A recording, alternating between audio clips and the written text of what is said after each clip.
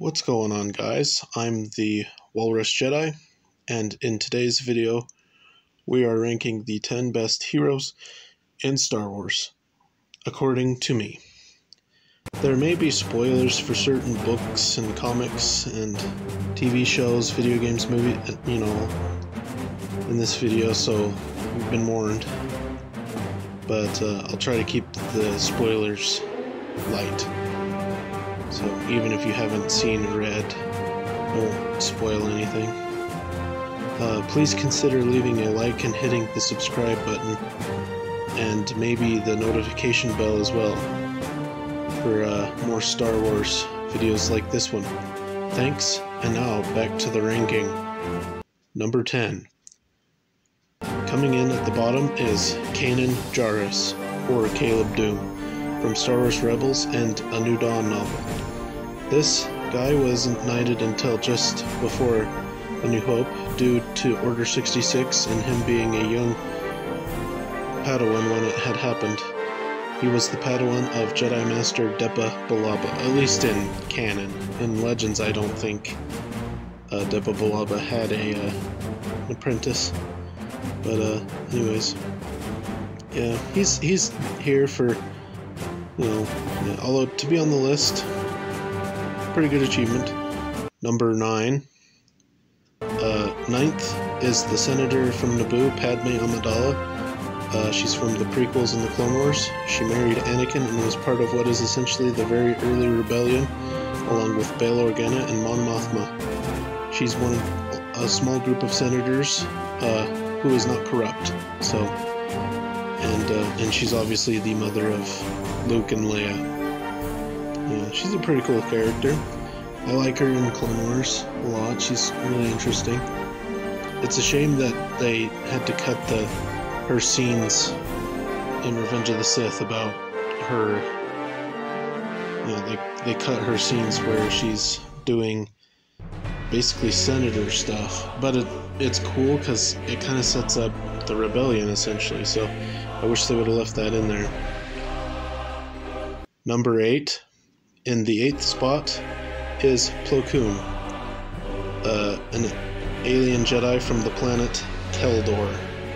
He sat on the Jedi Council and is the Jedi who brought Ahsoka Tano to the Jedi Order. A pretty good pilot, he also looks cool and uses a blue bladed lightsaber. Um, this guy just looks cool, you know? I'm a big fan of aliens in Star Wars and this guy is he's an alien and he's a Jedi. What's more to like? Yeah, so it's cool that in Clone Wars we got we got to hear him talk and he got to do stuff because in the movies he's just kind of a background character. Number seven, uh, coming in at the seventh spot is Kyle Katarn from Dark Forces and the Jedi Knight series of games. Uh, he has struggled with the dark side but ultimately overcame it. He was also a former Imperial he eventually became one of Luke's best students and taught others the way of the Force. And this guy, he's just a Han Solo type, but you know, as a Jedi, so he's cool. Number six. Sixth is the chosen one himself, Anakin Skywalker from the prequel trilogy and the Clone Wars. This former slave and pod race champion is quite capable and extremely loyal to his friends. He's married to Padme and is friends with Chancellor Palpatine. He is also Obi-Wan's former Padawan. I, I like Anakin Skywalker. When I was younger, I didn't like Anakin Skywalker as much because of the movies, you know, but Clone Wars, he's, he really shines in that show, so that's pretty good. Number five, in fifth, is Kit Fisto, the Nautolan Jedi Master from the prequel and from the prequel trilogy and the Clone Wars. This tentacle headed Jedi is master of Form 1 of lightsaber combat and is master to, not, to Nahdar Vebb, a Mon Calamari who was killed by Grievous.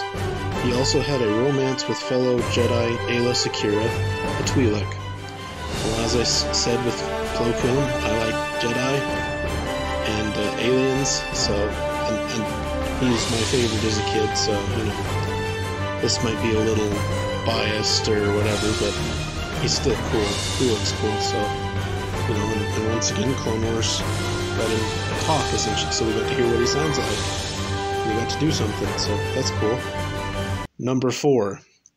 In fourth is Ahsoka Tano, a ta- Togruta Jedi from the Clone Wars. She was the Padawan to Anakin Skywalker until she left the Order. She wields two lightsabers green. She is also friends with Padme and is particularly close with Plo Koon, who had brought her to the Jedi. Again, another Jedi, so another alien Jedi, so I like Ahsoka.